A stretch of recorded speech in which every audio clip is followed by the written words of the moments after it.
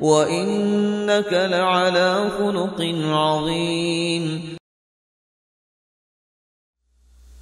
السلام عليكم ورحمة الله وبركاته. نحمده ونصلي على رسوله الكريم. أما بعد فأعوذ بالله من الشيطان الرجيم. بسم الله الرحمن الرحيم. رب اشرح لي صدري ويسر لي أمري. واحلل عقدة من لساني يفقه قولي.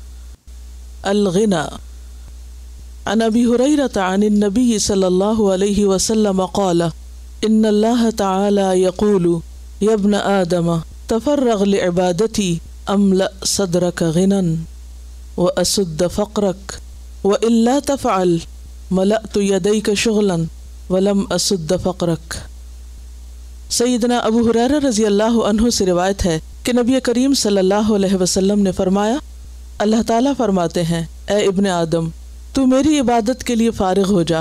میں تیرا سینہ غنا سے بھر دوں گا اور محتاجی کو تجھ سے دور کر دوں گا۔ اور اگر تو میری عبادت کے لیے فارغ نہ ہوا تو میں تجھے محنت مزدوری میں مصروف کر دوں گا اور تجھ سے محتاجی دور نہ کروں گا۔ جس حدیث کے الفاظ میں اللہ تعالیٰ کے فرمان کی بات ہو، وہ حدیث کیا کہلاتی؟ حدیث قدسی۔ حدیث قدسی اور قرآن مجید میں فرق کیا ہے؟ قرآن مجید میں الفاظ اور معنی دونوں اللہ تعالیٰ کی طرف سے۔ جبکہ حدیث قدسی میں معنی اللہ تعالیٰ کی طرف سے اور الفاظ نبی صلی اللہ علیہ وسلم کے۔ یعنی نبی صلی اللہ علیہ وسلم دراصل اللہ تعالیٰ سے روایت کر رہے ہوتے ہیں۔ حدیث بہت واضح ہے اپنے معنی میں۔ انسان کو اللہ سبحان تعالیٰ نے دنیا میں بھیج کر ایک طرف اس کی ضروریات رکھی اور دوسری طرف اس پر اپنی عبادت کا حق رکھا۔ ان میں سے کسی ایک چیز کو بھی چھوڑا نہیں جا سکتا۔ دونوں ہی ضروری ہیں۔ انسان کے لیے اپنی ضروریات کو پورا کرنا بھی ضروری ہے اور اس کے ساتھ ساتھ اللہ تعالیٰ کی عبادت بھی ضروری ہے، کیونکہ اللہ نے ہمیں اس دنیا میں بھیجا ہی اس لیے ہے۔ وما خلقت الجن والانس الا ليعبدون۔ سب سے مشکل کام ان دونوں میں اعتدال قائم کرنا ہے۔ بعض لوگ ایک کام کو چھوڑ کر دوسرے کی طرف متوجہ ہو جاتے ہیں، دوسرے کو چھوڑ کر پہلے کی طرف متوجہ رہتے ہیں۔ جبکہ معتدل دین کیا ہے؟ کہ انسان اپنی بنیادی ضروریات بھی پوری کرے، لیکن اس کے ساتھ ساتھ اللہ کی عبادت کے لیے بھی وقت نکالے۔ اور یہ اسی وقت ہو سکتا ہے جب انسان اپنی پرائرٹیز کو سیٹ کرے، اپنے اوقات کو صحیح طور پر استعمال کرے۔ دن کا کچھ حصہ اپنی ضروریات کے استعمال کے لیے، ضروریات کو پورا کرنے کے لیے بھاگ دوڑ میں استعمال کرے، اور کچھ حصہ عبادت کے لیے۔ کام کے وقت میں کام، آرام کے وقت میں آرام، اور عبادت کے وقت میں عبادت۔ اور ہر چیز کو اس کا حق دے۔ یہاں پر جو بات کی گئی کہ تفرغ عبادتی تو اس کا یہ مطلب نہیں ہے کہ انسان دنیا کے سارے کام چھوڑ کر صرف مسجد میں بیٹھ جائے۔ تفرق سے مراد فارغ ہونا ہے، لیکن فارغ ہونے سے مراد ہر چیز سے چھٹی کر کے صرف کسی حجرے میں مقیم ہونا، گوشہ نشین ہونا مراد نہیں۔ اس سے مراد کیا ہے؟ اس سے مراد یہ ہے کہ انسان دنیا میں ہوتے ہوئے، دنیا کے کام کاج کرتے ہوئے، جب اللہ کی پکار سنے دین کا کوئی تقاضا سامنے آئے، عبادت کا وقت آئے، تو انسان کیا کرے؟ دنیا کے کام کو وہیں روک کر اپنے آپ کو عبادت کے لیے یکسو کر لے۔ اور اس وقت اس طرح عبادت کرے کہ گویا وہ دنیا کے کسی کام کو جانتا ہی نہیں۔ عبادت کے وقت میں عبادت اور اس طرح عبادت کے عبادت کو اس کا حق دے۔ جیسے کہ قرآن مجید میں آتا ہے، قد افلح المؤمنون الذین هم فی صلاتهم خاشعون۔ یقیناً فلاح پا گئے وہ مومن جو اپنی نمازوں میں خوشو اختیار کرتے ہیں۔ اور نماز میں خوشو اس وقت تک ہو نہیں سکتا جب تک کہ انسان دنیا کی فکریں ایک طرف رکھ کر اپنا دل عبادت کی طرف نہ لگائے۔ جب انسان کا دل عبادت میں حاضر ہوتا ہے، مثلا نماز پڑھ رہے ہیں یا قرآن پڑھ رہے ہیں یا حج کے لیے گئے ہوئے ہیں یا اور جو خاص نوعیت کی عبادات ہیں جن کو آپ ریچولس کہہ سکتے ہیں جن کی ظاہری شکل و صورت بھی سریحن عبادت کے لیے۔ ایک تو وہ کام ہے جو دنیا کے کام ہے، لیکن اللہ کی اطاعت کے مطابق ہے، تو وہ بھی عبادت ہے۔ یہ عبادت کی دوسری شکل ہے۔ ویسے شادی بیاہ بھی عبادت ہے، تجارت بھی عبادت ہے، رزق حلال کمانا بھی عبادت ہے، بیوی بچوں کو کھلانا بھی عبادت ہے، بچوں کی صحیح تعلیم و تربیت کرنا، کھیتی باڑی کرنا، یہ سارے کام عبادت ہو جاتے ہیں اگر جائز اور حلال طریقے سے ہوں۔ یہاں اس عبادت کی بات نہیں کی جا رہی۔ یہاں خصوصی عبادات کی بات ہے، جن کو اسلام کی اصطلاح میں عبادت کہا جاتا ہے نہیں اصطلاحی عبادات، نماز، روزہ، حج، زکوٰۃ وغیرہ۔ اللہ کا ذکر کہ جب انسان مسجد کے اندر ہو، تو پھر وہ مسجد کے اندر ہی ہو۔ بعض لوگ جسمانی طور پر مسجد کے اندر ہوتے ہیں، لیکن ان کا دل مسجد سے باہر ہوتا ہے۔ کچھ لوگ جسمانی طور پر بازار میں ہوتے ہیں، لیکن ان کا دل اللہ کی طرف متوجہ ہوتا ہے۔ وہ دنیا میں رہتے ہوئے بھی اللہ کی طرف راغب اور مائل رہتے ہیں ان کے دل اللہ کی یاد سے تڑپتے رہتے۔ ہیں اور کچھ لوگ عبادت کی حالت میں بھی، مثلا نماز بھی پڑھ رہے ہیں، تو ساری فکریں اور غم اور پریشانیاں کیا ہیں؟ دنیا ہی دنیا کی، اور نماز میں دل ہی نہیں لگتا۔ یا یہ کہ پھر نماز تاخیر سے پڑھنا، یا صحیح طور پر ہی ادا نہ کرنا۔ بعض لوگ حج اور عمرے پر جا کر بھی دنیا نہیں بھولتے، وہاں بھی ان کی توجہ عبادت پہ کم، خریداری پہ زیادہ ہوتی۔ تو عبادت کا یہ درجہ، یا اس طریقے کی عبادت، یا پھر عبادت سے غفلت برتنا، نماز ادا ہی نہ کرنا، حج کے لیے وقت ہی نہ نکالنا، زکوٰۃ ادائیگی کی طرف توجہ ہی نہ دینا، تو یہ سب چیزیں کیا ہیں؟ یہ تو بنیادی فرائض ہے نا، فریضے کی عبادات ہے تو جو شخص ان فرائض کی ادائیگی میں کوتا ہی کرتا ہے، ادا ہی نہیں کرتا، یا صحیح طور پہ ادا نہیں کرتا، یا پھر خوشو خزو کے ساتھ ادا نہیں کرتا، اخلاص کے ساتھ ادا نہیں کرتا تو اس کو اس کو تاہی پر دنیا میں ہی بھگتنا پڑ جاتا ہے۔ اور وہ کیا؟ کہ اطمینان قلب، سکون قلب، خوشی رخصت ہو جاتی۔ بہت کچھ ہوتے ہوئے بھی انسان کے اندر ایک احساس کمتری اور ایک محتاجی کا احساس رہتا ہے اور خوف اور اندیشے اس کو گھیرے رکھتے ہیں۔ خوف اور اندیشے کس چیز کے؟ مستقبل کے۔ اپنی ذات کے بارے میں، بچوں کے بارے میں، مالی طور پر، صحت کے بارے میں اور مختلف طرح کی چیزیں۔ اور اس خوف اور اندیشے کی وجہ سے سب کچھ ہوتے ہوئے بھی نہ دنیا کو انجوائے کر سکتے ہیں اور نہ آخرت کے لیے کچھ جمع کر سکتے ہیں۔ اور آپ دیکھیں گے کہ جب تک انسان کے دل میں پرائرٹی نمبر ون اللہ کی ذات نہیں ہوتی اور اللہ کی عبادت ہر چیز سے اعلیٰ اور افضل چیز قرار نہیں پاتی زندگی میں، تو اس کا نتیجہ کیا ہوتا ہے؟ انسان سو کے اٹھتا ہے، پریشانی میں گھرا ہوا ہوتا ہے، سونے جاتا ہے، پریشانی میں گھرا ہوا ہے، کچھ کام کر رہا ہے، پریشانی میں گھرا ہوا ہے۔ ذہن مسلسل ایک غم، اور ایک خوف، اور ایک اندیشے، اور وسوسے کا شکار جو رات اور دن کو بدل دیتا ہے، کیا وہ حالات کو بدل نہیں سکتا؟ وہ کیا انسان کی ساری ضروریات پوری نہیں کر سکتا؟ کسی کی تقدیر، کسی کی قسمت، کسی کا نفع، کسی کا نقصان ہمارے ہاتھ میں نہیں ہے۔ وہ اللہ کے ہاتھ میں۔ ہم دن رات بھی غم کھاتے رہیں تو ہم کچھ نہیں کر سکتے۔ کسی کی حالت نہیں بدل سکتے، نہ اپنی تقدیر بدل سکتے۔ تو جب انسان اللہ پر بھروسہ کرتا ہے، اللہ پر توکل کرتا ہے۔ اور توکل کا مطلب یہ نہیں کہ انسان کوشش چھوڑ دے، کوشش کرتا رہے، لیکن معاملہ اللہ کے سپرد کر دے۔ تو یہ اللہ کا وعدہ ہے کہ میں تیرے دل کو غنا سے بھر دوں گا، مطمئن کر دوں گا، اور تیری محتاجی دور کر دوں گا یعنی تیری ساری ضروریات پوری کر دوں گا۔ تو میرا ہو جا، میرے لیے خالص ہو جا، تیرے کام میں سنوار دوں گا۔ لیکن اللہ کی اس بات پر ہمیں یقین کیوں نہیں اور ہم بار بار اس کو کیوں بھول جاتے ہیں؟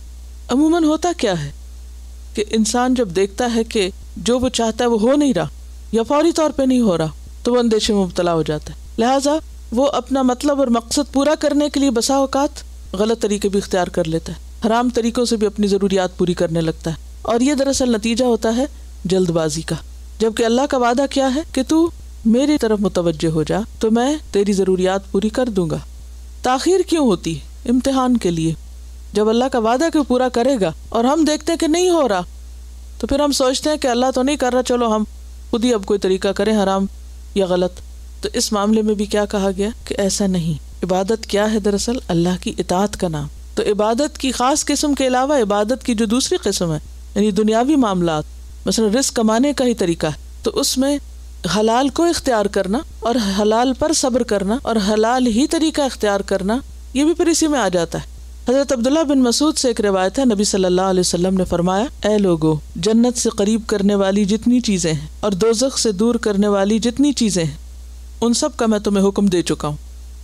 یعنی کیا کیا چیزیں جنت کی طرف لے جاتی ہیں اور کیا کیا دوزخ سے دور کرتی اسی طرح جنت سے دور کرنے والی چیزیں اور جہنم کے قریب کرنے والی چیزوں کے بارے میں بھی میں تم کو بتا چکا ہوں اور ان سے منع کر چکا ہوں کہ ان کو اختیار نہ کرنا جو جنت سے دور لے جائے اور جہنم کے قریب کر دے، کیونکہ ایک سے دوری دوسرے سے قرب ہے۔